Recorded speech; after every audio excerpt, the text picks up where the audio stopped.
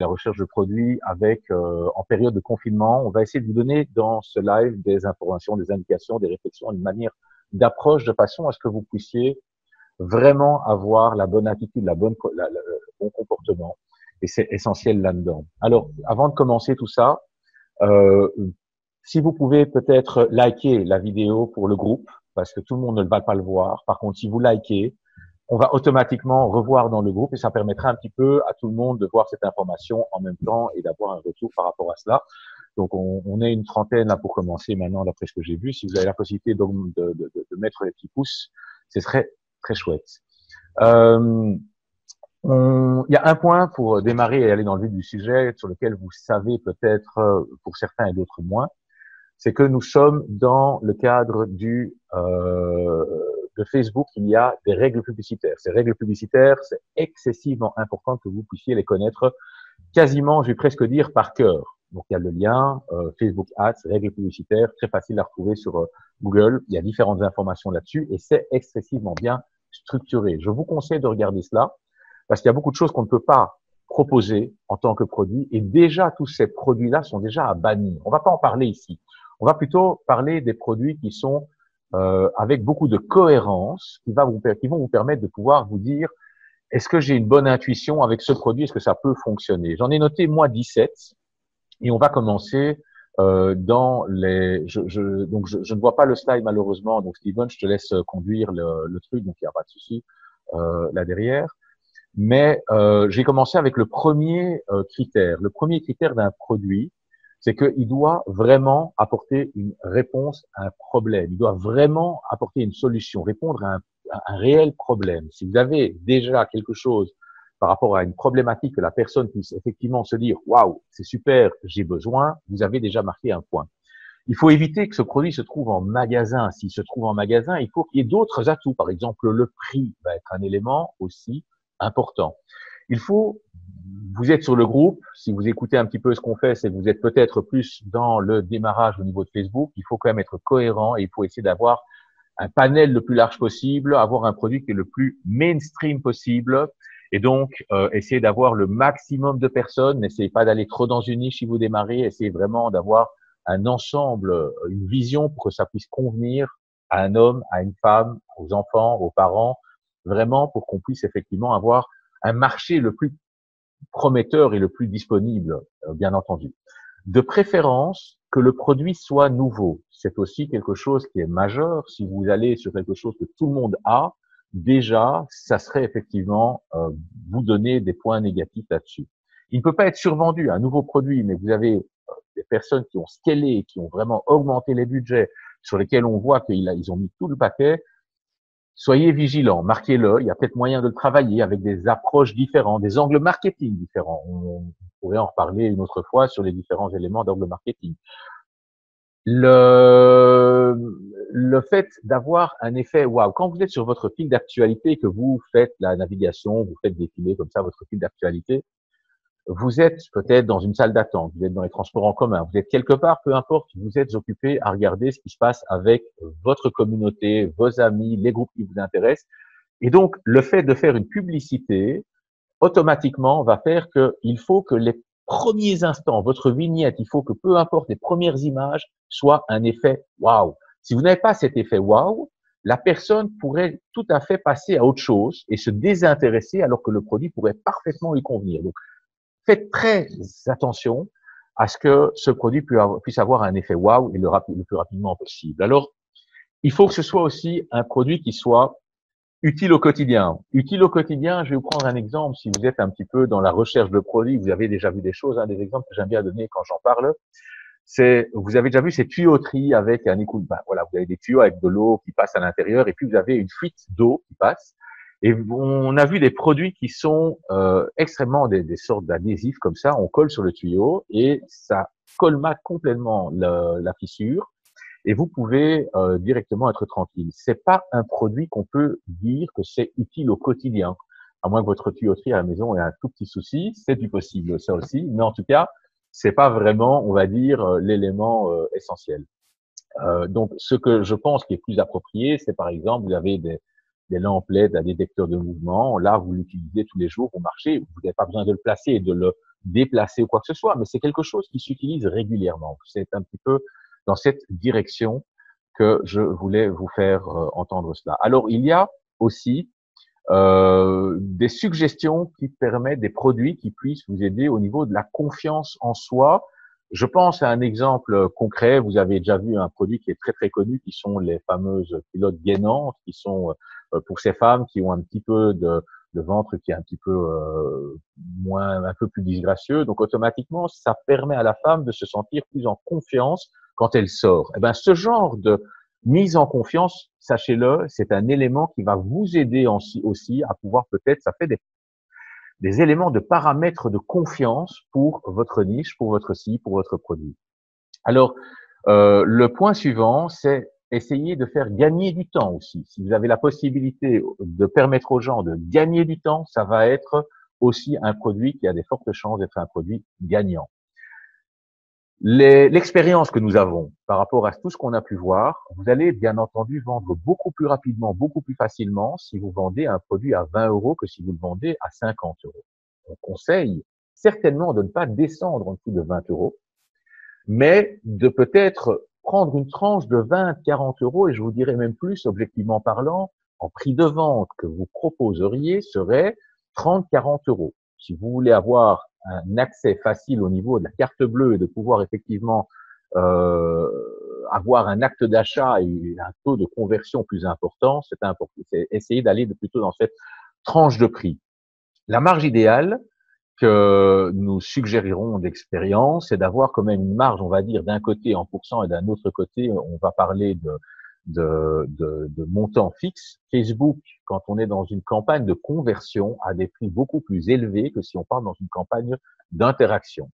Euh, l'interaction, c'est pas cher, mais c'est normal. Il n'y a pas de conversion au niveau de l'acte d'achat. Par contre, quand on parle dans une campagne de conversion, Facebook, si vous n'avez pas vraiment bien travaillé votre audience, vos intérêts, vous allez devoir effectivement euh, demander au robot de faire plus de recherches. Et cette recherche va vous euh, coûter de l'argent, bien entendu. Et donc, essayez d'avoir minimum 15, 20 euros.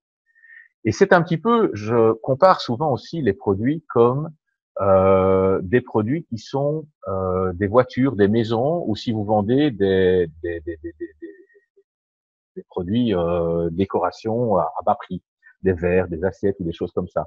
La marge de petits produits bon marché, le coefficient va toujours être plus élevé que si vous vendez des maisons. Quand on vend des maisons, le vendeur d'une maison euh, va avoir un commissionnement de 0, enfin de 3%. Voilà, c'est tout à fait euh, petit. Par contre, quand vous vendez des petits produits pour pouvoir arriver à vous en sortir, eh ben, il va falloir avoir une marge importante. Et donc, objectivement, on conseille d'aller dans les faire des coefficients x3, x4. C'est donc pour 300 à 400% pour que vous puissiez couvrir l'ensemble de vos frais. C'est un, un élément euh, complémentaire. Euh, lorsque vous avez vu un petit peu, vous connaissez le euh, ROAS, qui est votre retour sur investissement dans votre tableau, le Business Manager, vous avez votre colonne ROAS. Essayez, lorsque vous faites votre calcul, de déterminer votre ce qu'on appelle le break-even. Le break-even, c'est vos coûts, vos, vos, bénéfices, le moment où vos coûts sont couverts par vos bénéfices. Si vous avez, vous vendez un produit, que ça va vous coûter le prix euh, du produit, plus encore les frais de, de, de, livraison. Vous avez également la TVA, vous avez éventuellement le, vous avez bien sûr les frais de Facebook. Que vous ajoutez tous ces frais et que vous vendez et que vous perdez plus d'argent à chaque fois qu'il y a une nouvelle vente qui se fait, là vous avez un gros souci parce que vous allez vendre 10 articles, vous allez effectivement vous trouver dans une situation vous aurez vendu 10 fois à perte. Si vous vendez 1000 fois, ben, ce sera 1000 fois le même montant perdu et ça va pour vous, ça va pour vous être une catastrophe. Vous allez vraiment faire crouler votre activité, votre entreprise. Donc, essayez d'avoir, euh, on va dire, un ROS, un break-even qui va se situer à 1.8. C'est le prix de vente divisé par la marge, tout simplement. Prenez votre marge, vous dites, prenez votre prix de vente, vous faites le prix de vente divisé par la marge, vous avez du 1.8. Si vous êtes en dessous, c'est excellent. Si vous êtes au-dessus, ça devient à un moment donné un peu délicat. Toujours dans la réflexion, ce que on vous donne ici comme euh, information, c'est une information qui s'adresse, on va dire, euh, de manière à ce que les, aux personnes qui sont plus euh, débutantes. Donc, euh, les personnes qui sont euh, plus débutantes vont avoir moins facile à s'adapter au niveau du produit, à livrer le produit. Ils vont pas directement, vous n'allez pas directement avec des agents, vous allez avec AliExpress Standard Shipping. Si vous prenez des produits qui ne fonctionnent pas en permanence toute l'année, imaginons la fête des mères, la Saint-Valentin, tout ce qui s'ensuit, vous allez vous retrouver dans une situation où euh, automatiquement, les clients qui ont besoin avant la fête des mères de recevoir le cadeau, ils vont le recevoir après et vous allez avoir un gros, gros problème. On revient, je fais une petite parenthèse là-dessus. Euh, pourquoi vous allez avoir un gros problème? C'est que euh, Steven va peut-être en parler encore tout à l'heure. Euh, il a fait un merveilleux article d'ailleurs dans le groupe euh, hier. Facebook va analyser le customer feedback. Ça veut dire qu'après quatre ou huit semaines, Facebook va demander à vos clients comment s'est passé l'expérience d'achat dans cette boutique-là, dans votre boutique. Et donc, il y a les trois questions, bien entendu, qui vont être posées.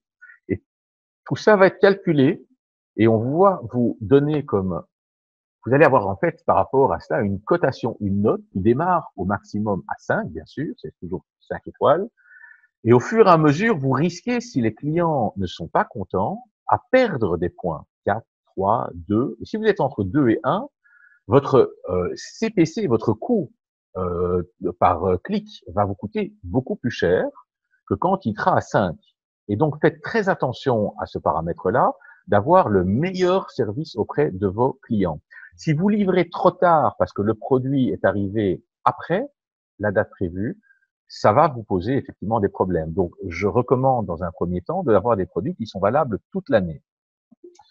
Analysez aussi les reviews. Les reviews, euh, de tout ce que vous pouvez regarder au niveau des produits déjà vendus, du même produit que le vôtre, que ce soit sur AliExpress, que ce soit sur Amazon, que ce soit sur eBay, peu importe, regardez les commentaires ou Facebook aussi, étudiez-les, c'est très important pour avoir une idée. Je prends un, un, un des produits qu'on m'avait un jour montré et sur lequel je trouvais le produit intéressant et je vous en parle pour vous alerter par rapport à ça. C'est en fait ce, ce le, cet appareil un peu qui fait euh, télévision un peu loupe. Quand on place son mobile à l'intérieur, eh ben on a un écran plus important. Et je trouvais ça super bien fait parce que la vitesse, la, la, la vidéo était très très très bien faite. Elle avait toutes les qualités, euh, on, on, va quasiment dire euh, par rapport aux, aux, critères que vous avez sous les yeux. Malheureusement, quand on va voir les critères au niveau du review, c'était une vraie catastrophe, une calamité. Donc, faites très attention. Si les clients ne sont pas contents, ça va se répercuter chez vous. C'est surtout le, genre de choses à ne pas faire. Euh, les, les, statistiques, euh, waouh, avec plusieurs centaines de reviews sur Amazon.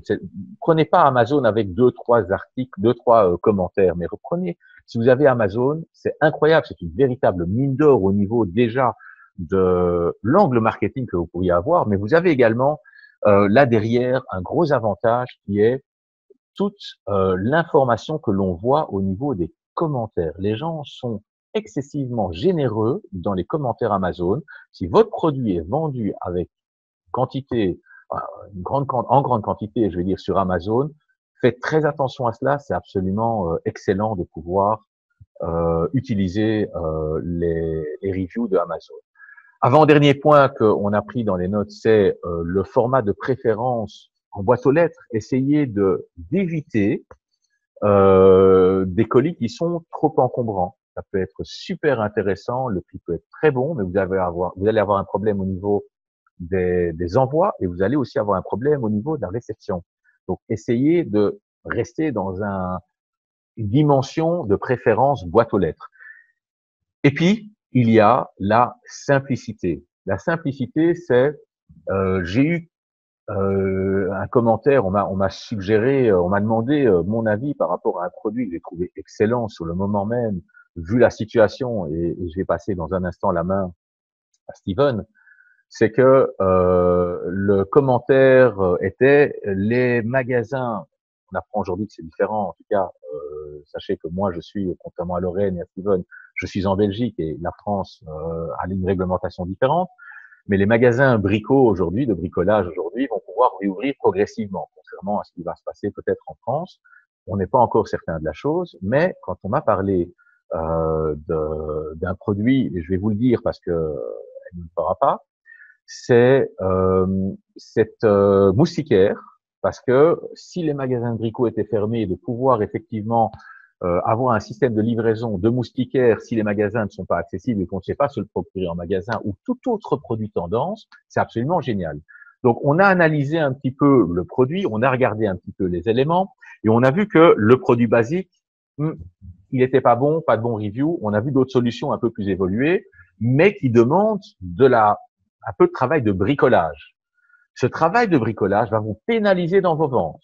La personne qui va regarder votre produit, si vous voulez vraiment avoir quelque chose d'efficace et de performant, il faut que ça soit simple, simple dans l'offre, simple dans le produit, simple dans l'installation, simple à tous les niveaux. À partir du moment où vous avez effectivement compris que la simplicité va être votre meilleur ami, alors là, vous aurez eu gain de cause. Donc, n'allez pas dans le... Si la personne doit effectivement partir à un moment donné pour se dire, je vais prendre la dimension de la fenêtre, je vais vérifier quel genre de qualité c'est, est-ce que je dois avoir encore ça ou pas ou pas, je reviendrai plus tard, se dit-il, eh bien, il reviendra pas. Voilà donc euh, toutes les raisons qui sont là, euh, que nous pouvons effectivement vous soumettre en conseil de critères de manière générale. Et ce que je vais maintenant euh, passer la main à Steven, c'est nous sommes dans une période extraordinaire. On est, sachez que je suis entrepreneur depuis euh, très longtemps, plus de 25 ans, plus encore d'ailleurs, et nous sommes dans un, un, un moment où les tendances, c'est notre core business. Nous devons travailler sur les tendances, les événements, les, les, les sorties de films, les, les, les, les, festivals, euh, etc. Donc, il y a, y a, vraiment plein de choses qu'il faut savoir. Si on résout un problème à une tendance, c'est quelque chose qui est majeur. Et donc, ce qui va être excessivement intéressant, c'est de pouvoir entendre comment nous adapter aujourd'hui à cette économie qui change complètement la donne, sur lequel le marché est beaucoup plus propice à écouter les bonnes propositions. Et je propose, Steven, de te passer la main pour la suite de l'information.